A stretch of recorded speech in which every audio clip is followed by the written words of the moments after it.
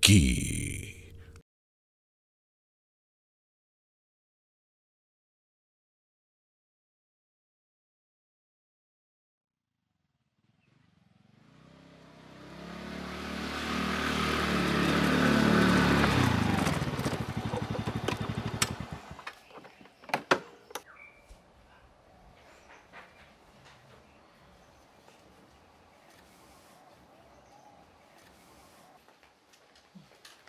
පුරන්ඩියක්කේ මං හිතේ ගෙදර නැතුව ඇති කියලා.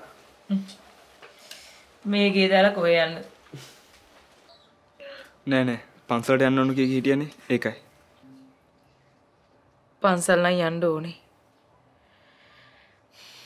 දරුවට පින් අනුමෝදන් කරලා ඒකත් ඉවරයක් කරන්න ඕනේ අක්කා ඇඟට අමාරුවක් නැත්තම් ඉතින් අද වුණත් යන්න පුළුවන්.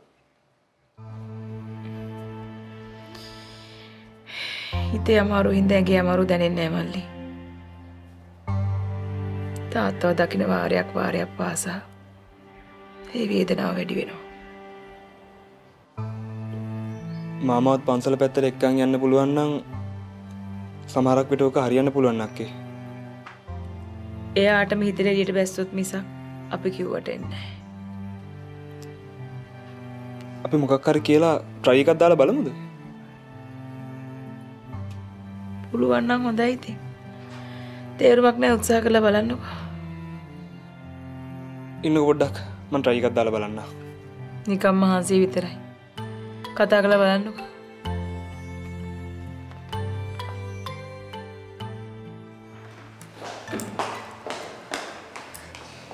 පුදුම කර්මයක් තමයි මේක නම්. අපි කොච්චර බවුනත් වැඩක් නෑ. ඇයි මොකද ප්‍රශ්නේ? බොස් ඉතින් අපේ වැඩෙන් විතරනේ පේන්නේ. එයාද දනග හොද? 5S ප්‍රොජෙක්ට් එක හරිය නෑ කියලා මට කෑ ගහනවා. ඉතින් හරිනේ. ඔයානේ 5S ප්‍රොජෙක්ට් එක ඔලුව තියාගෙන දිව්වේ. මම දිව්වේ නැහැ. මං කරේ මගේ ජොබ් එක.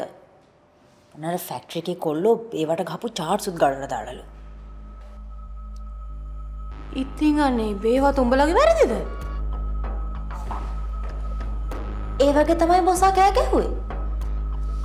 මට අද නම් ඇත්තටම අයින් වෙන්න හිතුණා. අනේ මේ ඔයා අස් වෙනවා නම් කියලා අයින් වෙන්න. නැත්තම් සදා අනාතයි. ඔක්කොම ප්‍රොජෙක්ට්ස් ටික බාර අරගෙන නොකියම යන්න ඕනේ. ඔව්. යන්න පුළුවන්. හැබැයි ආයේ වෙන කොහෙවත් ජොබ් එකක් කරන්නේ නැත්තම්. මොකද අපි යන යන තැන් වලට මේගොල්ලෝ කෝල් කරලා අපේ වැරදි කියයි.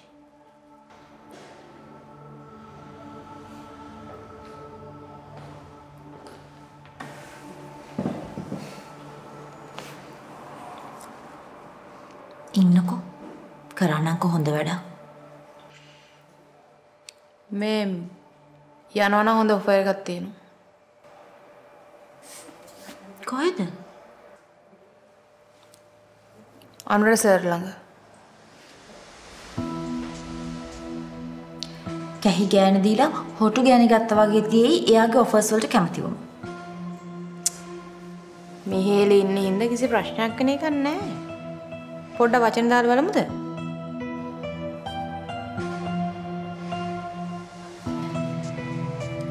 අපි යනවා කියන එක මෙහෙට දැනෙන්න ඇරලා ඊට පස්සේ වචන දාලා බලමු.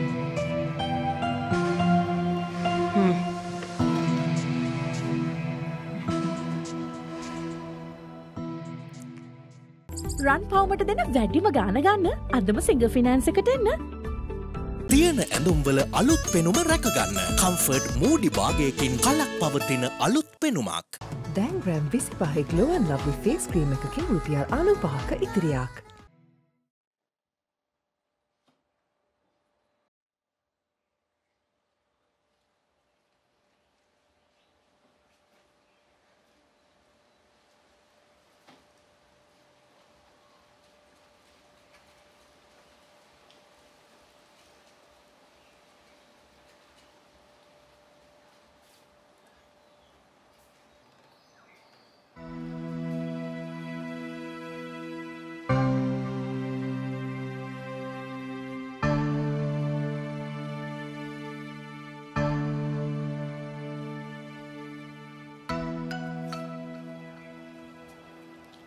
අම්මේ මාව බලපු ලොකු දොස්තර නම් හිට දවල් ඉන්නවා. හෙටපකින් පෙන්න ගත්ත නම් හරි. හ්ම්. එහෙනම් ඔයා වෙලාවක් වෙන් කරගන්න. කොහොමද සතියකින් ආයෙ ඇවිත් පෙන්න ගන්න කිව්වනේ. අපි යමු. ඊළඟ පාරවත් මෙහෙම විනාශයක් වෙන්නේ නැතුව දරුවෙක් හදාගන්න ලෑස්ති වෙමු. ඊළඟ පාරිදි ළමෙක් හදාගන්නේ දොස්තරට කියලා තමයි. මොනවද සුරංගි මේ කියවන්නේ? ළමයි නැති වුණත් හරි. මේ මිනිහ මට කෝල් දෙකයිනේ අම්මේ දුන්නේ. මං සිය පාරක් විතර ගන්න හදනවා හදනවා ගන්නත් බෑ ෆෝන් එක වැඩ කරන්නෙත් නෑ. එක මැසේජ් එකක්වත් නෑනේ. ඒ ළමයට වැඩ ඇති. අනේ මේ මෙච්චර දෙයක් වුණාට පස්සේ ගෑණියට බලන්න නැත්තම් ඉතින් තාම මොනවාද ඉතින්? දැන් අපි හෙට කොහමද යන්නේ? යනවා නම් ඉතින් උදේම යන්න ඕනේ. උදෙන්ම යන එක නෙවෙයි ප්‍රශ්නේ. තාත්තව කොහමද දාලා යන්නේ? අපෝ දාලා යන්න බෑ මොනව කරගනින්ද දන්නේ නැහැ. ලොකු දොස්තර ගාවට එක්කන් යන්නත් බෑනේ. අපි උදේම මිහෙලිලා ගෙදර ගිහිල්ලා තාත්තා වෙහි නවත්තලියක්. ඒක ප්‍රශ්නයක් නෑනේ. ඒක හොඳයි. එහෙම වුණොත් හෙට එහි නතර වෙලා අපිට හිමිහිට එන්න පුළුවන්. හ්ම්. මාළිගේ සල්ලි වලටත් මොකද කරන්න කියලා පොඩ්ඩක් කතා කරගන්න පුළුවන් නේ.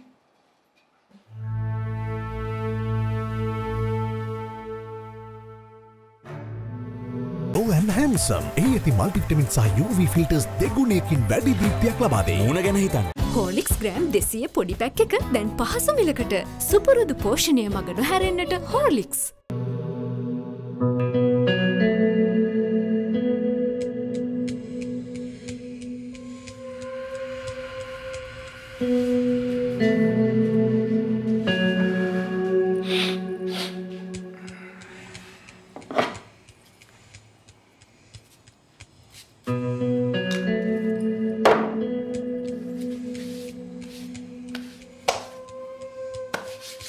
Música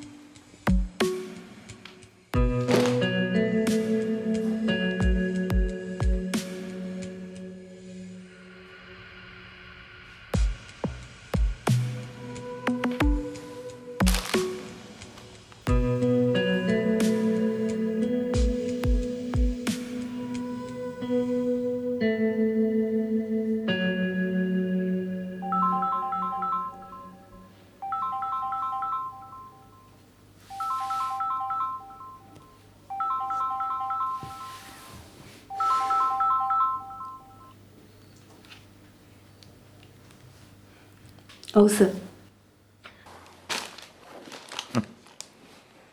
මිලි ආ බිසිද? කියන්න සර්. ඔයා මොකද්ද හෙට අඳින්නේ? මං අඳින්නේ මොකද්ද කියන එක සර්ට අදාළ නෑනේ. ඔව් ඔයා අඳින්නේ මොකද්ද කියන එක මේ ඔෆිස් එකේ මාකටිං මැනේජර් නම් අදාළ නෑ තමයි. ඒ වුණාට අනුරට ඒ කියන්නේ මට මට අදාළයිනේ. මම අවුරුදු 24න් මේ ෆීල්ඩ් එකට ආවේ. දැන් 44යි. අවුරුදු 20ක් වැඩ කරලා තියෙනවා. කම්පැනිස් 8ක. මේ කම්පැනිස් වල ඕන තරම් කෙල්ලෝ ලස්සනට අඳින කෙල්ලෝ ඒගොල්ලන්ගේ ඇඳුම් මම දැකලා තියෙනවා. හැබැයි ඔයා තරම් නීට් එකට අඳින කෙනෙක් නම් මම දැකලා නෑ මේලි. ඔෆිස් එකේ වැඩකට අදාළ දෙයක් නම් කියන්න සර්. නැත්නම් ෆෝන් එක තියන්න. ප්ලීස්. ඔෆිස් ඩ්‍රෙස් එක කියන්නේ ඔෆිස් එකට අදාළ දෙයක්. මගේ සෙක්ෂන් එකේ කෙල්ලෝ අඳින්නේ කොහොමද කියලා හොයලා බලන එක. ඒක මගේ වගකීමක්. හරි. මේකයි වැඩේ. මං අද අලුතෙන් ෂර්ට් එකක් ගත්තා. මං ඒකට අදන් එනවා. අපි පොඩි ගේම් එකක් කරමු. මගේ ෂර්ට් එකට මැච් වෙන කලර් එකකින් ඔයා හෙට ඇඳගෙන ආවොත්. ඒ කියන්නේ ඔයා හිත යටින් මාව යාළුවෙක් විදිහට පිළිගන්න කැමතියි. එහෙම නැතුව ගැලපෙන්නේ නැති එකක් අඳන් આવොත් ඒ කියන්නේ ඔයා මාව යාළුවෙක් විදිහට පිළිගන්නේ නැහැ. රයිට්. මොකද? ඔයාගේ මේකට ලෑස්තිද? ඔයාගේ ගේම් වලට මම ලෑස්තිත් නෑ අහුවෙන්නෙත් නෑ. කල එක මොකක් වුණත් සතා එකයිනේ.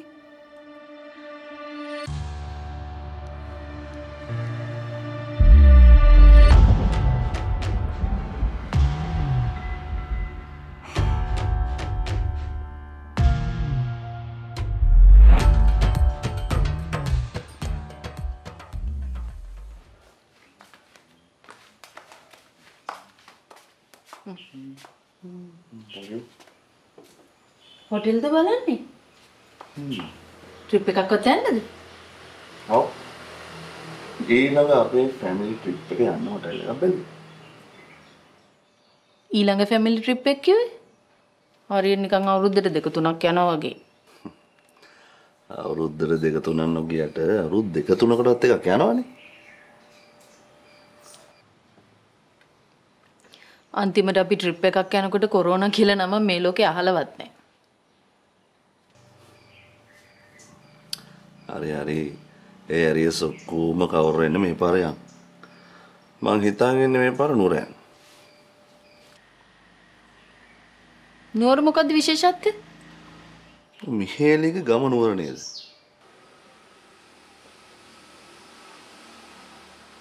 එතකොට මේ ට්‍රිප් එකටත් ගිහන් සම්බන්ධද? නැතුව දැන් ඉතින් ගිහානය අපේ හැම දෙයකටම සම්බන්ධයි. ඕක පොඩ්ඩක් මේ මිහිරි ගැන විස්තර ටිකක් හොයලා දෙන්න කියලා. මම මම ෆුල් විසිට් එකක් දාලා මිහිරිගේ සීරු දේ අප්ඩේට් කරන්න කියලා.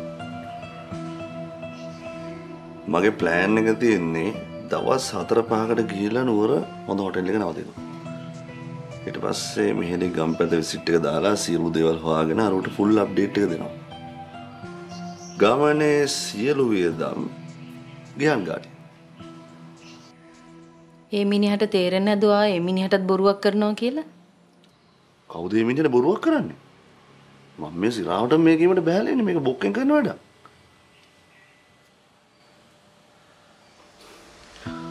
අපි පොඩි පූල් එකක් තියෙන ලස්සන හොටෙල් එකක් වගමු. මොකද කොල්ල ආසයිනේ වගේ තැනක නවතින්නේ. හ්ම්. නැවතුල්ල මේක සෙට් කරගත්තට පස්සේ මේ ගිහාන්ගේ සල්ලි අර කිව්ව බිල්ලට තියලා ගත්ත සල්ලි අනම්මනම් කීකි මේ ට්‍රිප් එකේ එන්න බෑ නම් කියන්න එපා. ඔයාට එහෙම අවුලක් තියෙනවා දැම්මම කියන්න. මම මීට යාළුවෝ සෙට් සෙට් කරන් ගිහලා එන්න. හා? නෑ අපි එනවා. නිකම් බීලා නාස්ති කරන සල්ලි වලින් අඩුම තරමේ පුතා හරි විනෝද වෙයිනේ.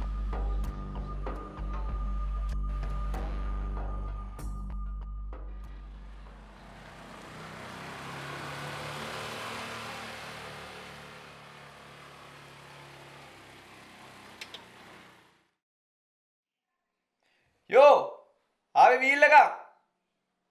අතුරන්න නැති සත්‍යයක් බලපංගෙන් කවුද ආවේ කියලා? ආපුගේ කොන්න ගෙදරට එයිනේ. නැතුව කම්මැලි ගිහින් බලපන් මට කියන්නේ ඔයා යන්නකෝ. මෙතන ගේ කිරියාව ගින් නැතුව.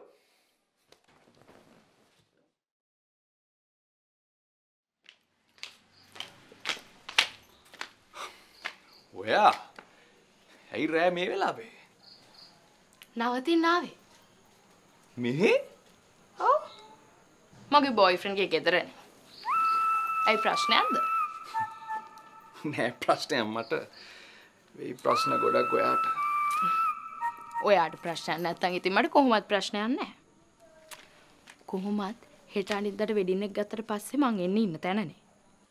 යෝ කරන්න නැතුව වීලු කියන්න යාවේ මේ වෙලා යාලු අම්බෝ මොකද මේ බය වෙලා වෙන කොල්ල නම් කෙල්ලෙන් මෙහෙම ආවහම පුදුම වෙලා බාරගන්න ඒකට මෙයා.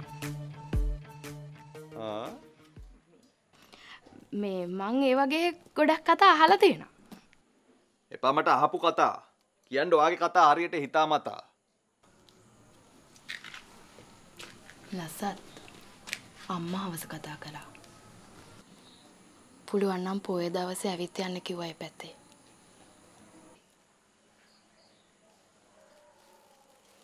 පෝය පෝය ඉතින් ලබන සතියනේ? ඕ ඉතින්. එදාට අම්මත් ගෙදර තාත්තත් ගෙදර. ඔයාට පුළුවන්නේ අනේ අමුකෝ. එදාට කැෆේ එකත් වහලා. ගණ්ඩ බෑ එක පාර තීරණයක් බලල කියන්නම් ඉස්සරට දින බල බල ඉන්න කල් නෑ එනවනම් දැම්ම කියන්න ඕන. බෑ කියන්න එහෙම. හරි. කොච්චර දවසක් ඕනෙද හරියට මෙනවද නැද්ද කියන්න?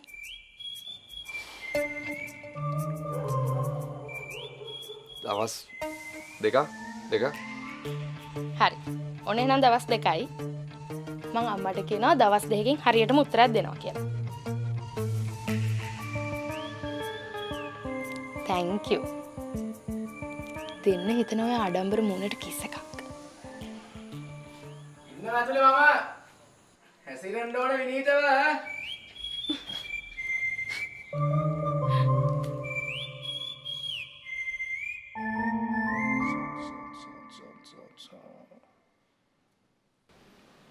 Sado, sado, sado, sado, sado. Sado, sado, sado, sado, sado.